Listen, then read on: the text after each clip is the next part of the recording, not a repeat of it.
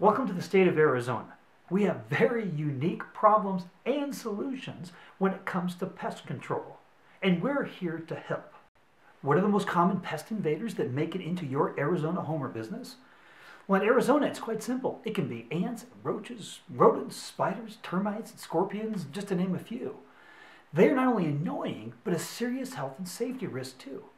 Did you know that there are over 40 species of scorpions in Arizona alone? And then you add in spiders like tarantulas, and that'll scare anyone. The fact is, all but a few species of spiders are venomous.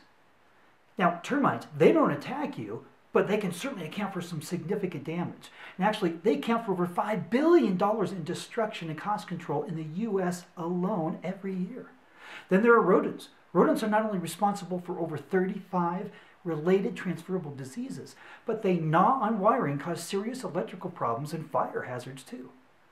These are certainly types of invaders that you want as far away from your home or business as possible. The best bet is to get connected with a pest control specialist that can offer you the ongoing protection that you need.